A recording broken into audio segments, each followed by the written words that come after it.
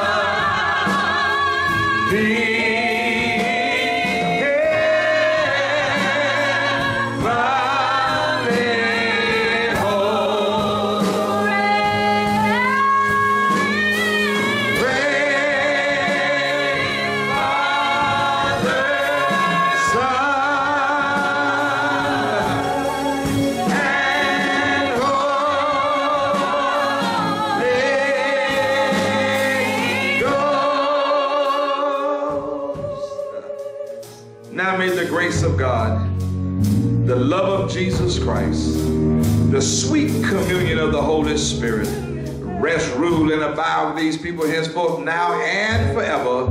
And the church said,